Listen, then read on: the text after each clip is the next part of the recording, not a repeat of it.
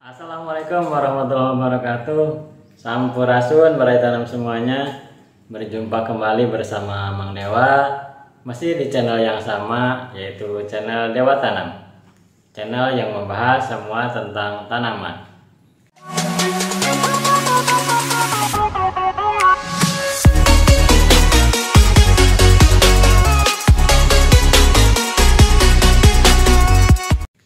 Berai tanam semuanya, tanam semuanya yang sedang menyaksikan video Mang Dewa ini selalu diberikan keberkahan, dipanjangkan umurnya, dimudahkan rezekinya, dan selalu ada dalam lindungan Allah Subhanahu wa taala.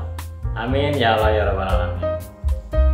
Selamat datang Mang ucapkan kepada berai tanam semuanya yang baru saja menemukan channel Dewa Tanam ini dan Mang ucapkan terima kasih kepada para tanam semuanya yang selalu setia menonton video dari Mang Dewa. Pada video kali ini, Mang Dewa mau membuat irigasi tetes untuk tanaman likuanium. Seperti apa prosesnya?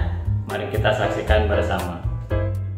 Para tanam semuanya, ini adalah tanaman likuaniumnya yang Dewa pasang di depan rumah ini ada 7 pot.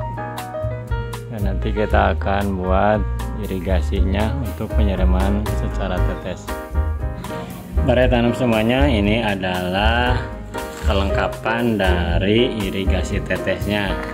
Ini adalah set irigasi tetes yang bisa dibeli dari marketplace. Dan Bang Dewa sudah sertakan di kolom deskripsi linknya untuk pembelian set dari irigasi tetes ini. Kemudian alatnya kita menggunakan gunting. Ini selang untuk saluran airnya ukuran 5 mili. Kemudian ini adalah untuk penyambung ke keran. Penyambungnya kemudian ini ada seal tip. Kemudian ini ada nozzle-nya dan ini ada eh, buat nancap ke tanah. Dan ada penyambung dari pipa atau selang ini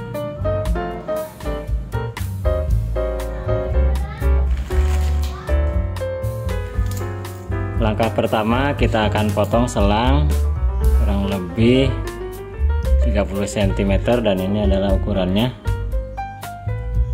Kita potong menggunakan gunting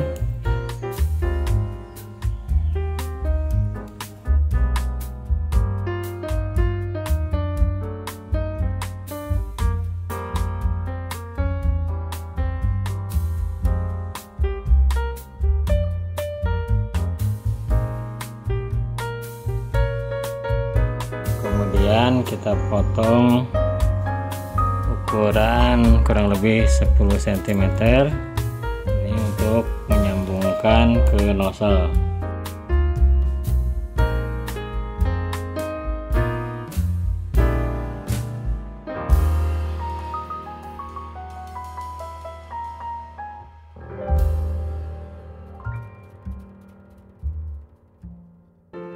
Ada 7 potong dan ini ada enam potong.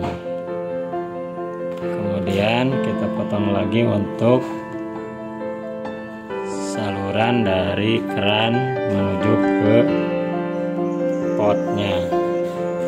Kurang lebih satu meter setengah. Nah kalau sudah siap seperti ini kita mulai merangkainya.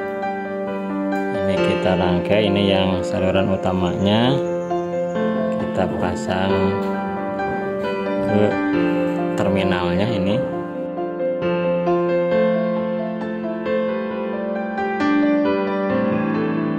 Kemudian yang ukuran 30 cm nya kita masukkan lagi di sini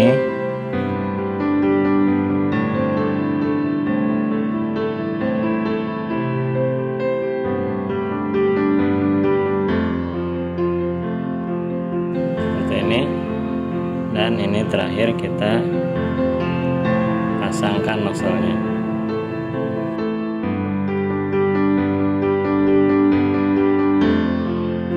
bisa diputar-putar untuk mengatur besar kecilnya air yang keluar. Nah ini rangkaiannya sudah selesai. Dan nanti lanjut ke pemasangan ke kerannya selanjutnya kita akan pasangkan ke penyambung nantinya ke keran. Ini kita buka dulu.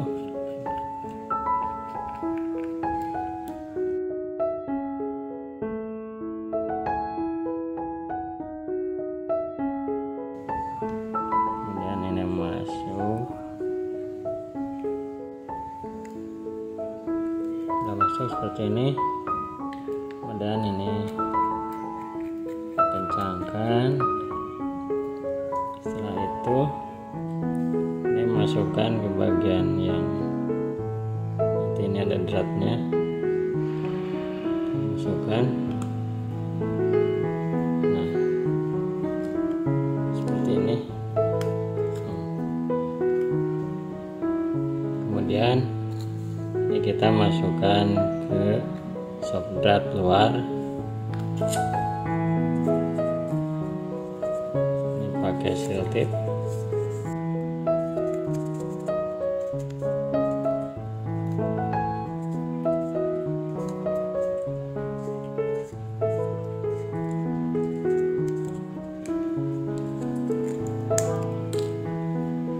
dan ini masukkan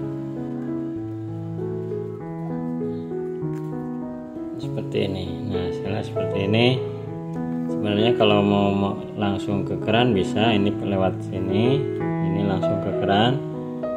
Tapi karena settingan dari pipa ini jadi nanti masuk ke pipanya lewat sini. Jadi ini masuk sini. Nah ini nanti dipasang di sini.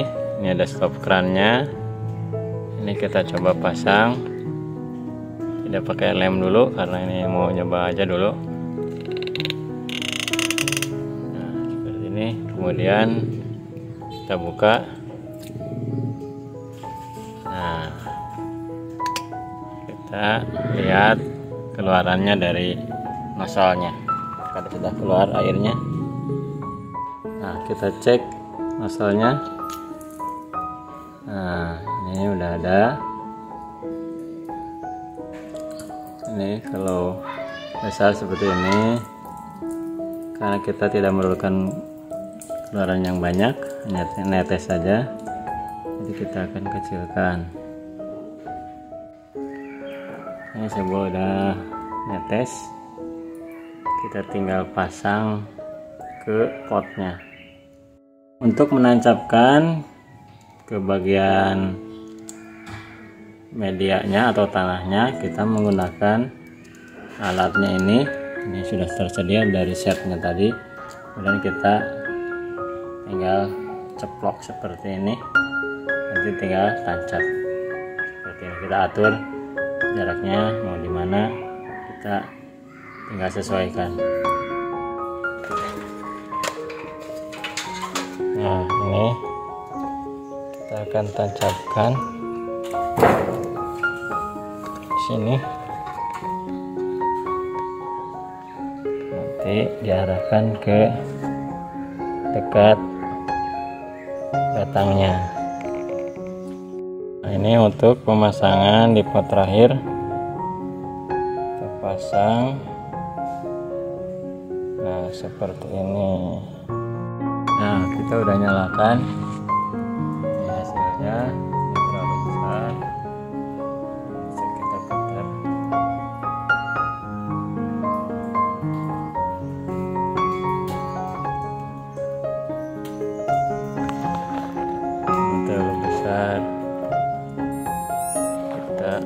kecilkan tetesannya